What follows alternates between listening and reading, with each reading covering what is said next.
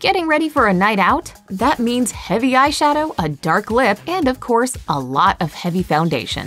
Yikes, that's some caked on makeup. I hope no one gets too close to notice. Hmm, how can I get around this caked on makeup look? Wait, I think I know just the thing. Fill up a big bowl with water. Make sure it's not too hot, not too cold. Make sure to fill it all the way to the tippy top. There you go. Take the bowl of water to a flat surface.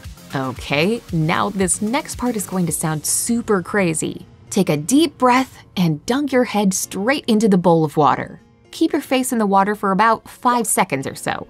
Don't worry, your makeup won't get ruined. See? Still intact. Snag a paper towel and gently pat your cheeks, forehead, and everywhere in between. Make sure to soak up all the excess water off your skin. Wow, you look great! Cake-free is the way to be. Have fun tonight, Vicky!